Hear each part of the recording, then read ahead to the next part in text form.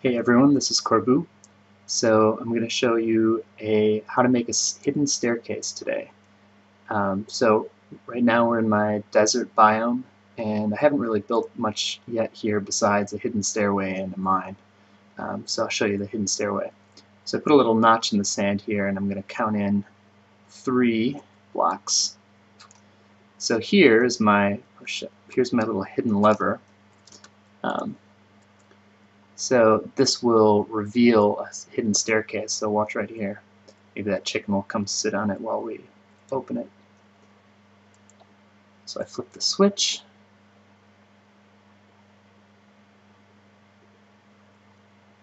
There it is. Ah, that's so cool. I love that. So now we've got a cool little hidden entrance down to what will be something. I don't know what this will be so far it's just just an entrance. Um, that's about it.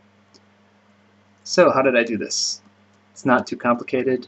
Um, took a little figuring out, but um, basically it started, I, I heard about um, how you can use water, uh, a current to change the direction of water. And uh, from there I you know, thought what I could do with that was use the water to destroy some torches and the torches could move some sand and so forth. Um, so here's here's what really really does it right here. Um, so the the lever charge comes through, and this is a block of water that I dropped right here. So there's this weird behavior with water where um, it flows to the lowest point. Um, so you can see that there's a, a, hole here, so it's flowing in that direction. Um, and it will check to see if there's another low point whenever something around it changes um, immediately adjacent to it. So um, so basically what's what's going on right now it's not flowing to the left because I've blocked the lower area with this block right here. Um, so I can remove that and it'll it'll stay the way it is unless you uh, build something next to it. So there, I, I, changed the block that was there and then it recalibrated and found this lower space. Um, so basically what we're going to do is uh, restore that. Um, first we stop it from flowing in the direction we want to um, open the, the stairwell. So I'll, I'll show you how that works a little bit more in a second, but so first we block it, um, then we um, block it again, because if we just block it once, when we take away this first block, it'll recalibrate. So if, if that hole is still there, then it'll just flow in that direction. So now we can take away the block immediately adjacent to it, and it still won't flow. And so now we can release that second one. So we've got that all queued up. Um, I'll just show you this real quick too. Um, so there you can see the, the block of water right above the torch and the little redstone charge. So when I flip the switch, it'll change the state of the redstone, which will cause the block to recalibrate, and then it'll find that lower portion off to the left. So I'll flip the switch, and it recalibrates. So that, that's how that works, pretty simple. Um, right, rebuild this quick before the monsters get me.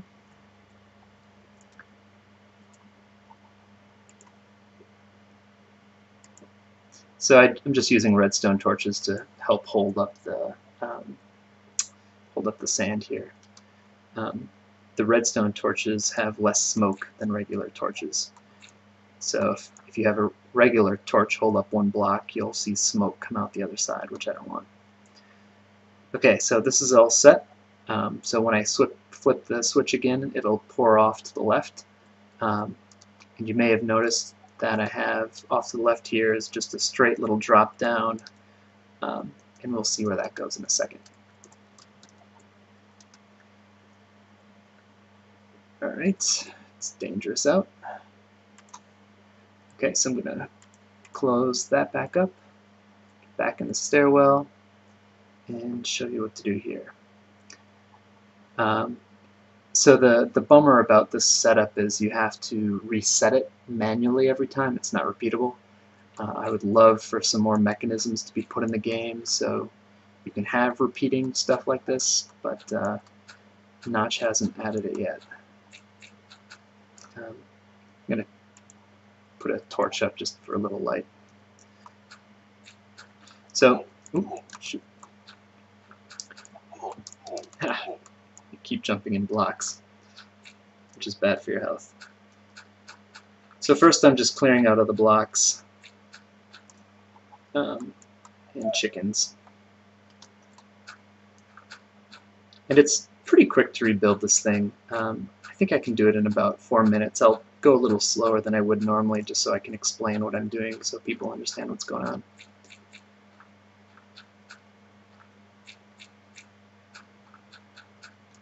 Alright, so I've got all my blocks. Um, in case you're wondering what this is, uh, it's, it's not really important, but I just like to have a way to get down here real quick if my stair isn't here. Um, and ladders will catch you as long as you don't land directly on top of them. So basically if I fall anywhere within this area, a ladder will catch me. So it's it's kind of a nice way you can free fall and, and still still be okay. Um, you just have to be careful if you fall directly between them, you will not get caught. But it's it's pretty hard to do so. Um, anyway, so here's here's where the water comes out. So you remember we flip the switch, it changes the state of the redstone, which causes the water to recalibrate. It then looks for low ground, and now there is low ground. So there's a shaft that's running. So it'll pour right down here. So it's going to pour, fill the floor, and when it fills the floor, that's when it can start knocking torches. Um, so I'll get rid of these just for illumination. So now I'm going to start building the stair. So this is the first torch. Um, now the trick to have the, the stair fall in a cool, you know, aesthetically pleasing way is to basically have a chain reaction that's, you know, very linear. Um, so each block falls at a time in a series as it as it wraps around. So that's all happening because the water is only going to hit one torch and that torch will in turn knock another torch, which will in turn knock another torch. So basically we're creating a chain reaction. When this falls, that falls, which causes that to fall, which causes that to fall, and so on. Um, we might get a spider down here. I think I just heard one. So building the stair, um, I'll get rid of that. Ooh, shoot. Uh, I don't have a sword handy. There we go.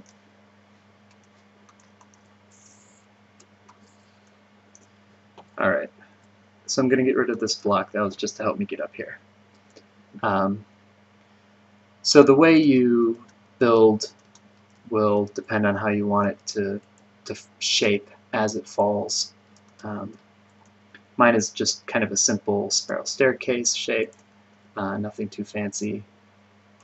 Uh, I, I kind of like the cleanliness of it. It's just a 4 by 4 um, shaft.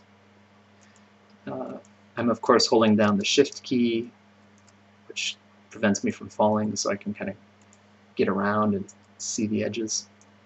Um, so here we are, we're about done.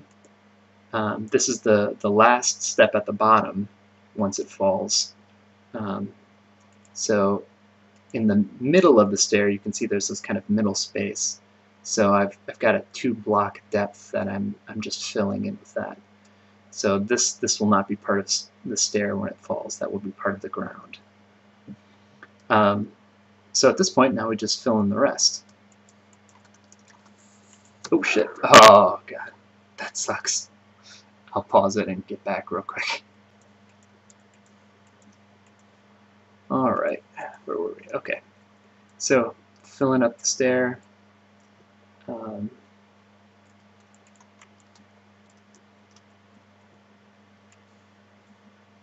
so this is just, you know, stacking stacking up sand and I am still putting the uh, the two blocks that'll become the middle of the floor when they fall.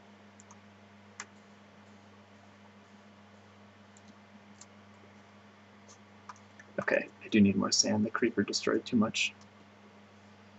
Sorry, yet another quick detour.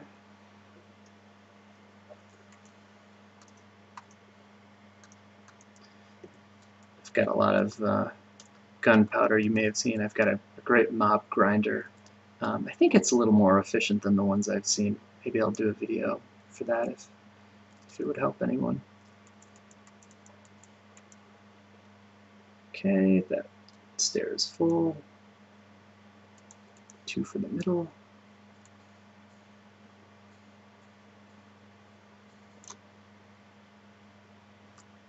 Another two for the middle.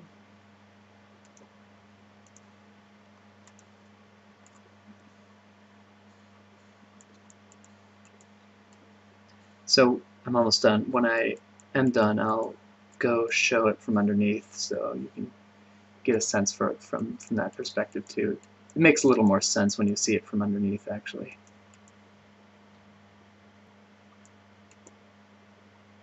Alright. There we are. So that's all hidden and ready to go.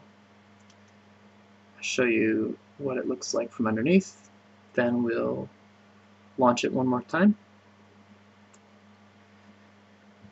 It's just a little utility corridor. There's nothing special about it. Some Something will be built off of here, hopefully. Alright, so here we are underneath. So you'll notice that it's basically the inverse of the stair. So this whole column will just fall one block. That'll be the first stair. This whole column will fall two blocks. That'll be the second stair.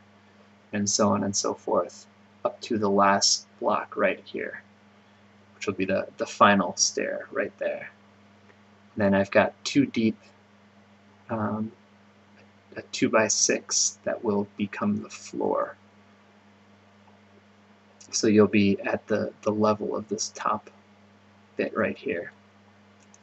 So yeah, let's let's go go flip that switch.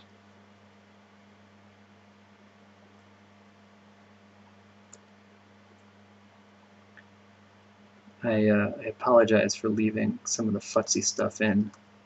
Um, feeling a little too lazy to do a lot of editing on this, so I'll probably just put it all online. Okay, so here we are. So the secret lever is three blocks in from that notch. There it is. And uh, let's flip it and watch the stair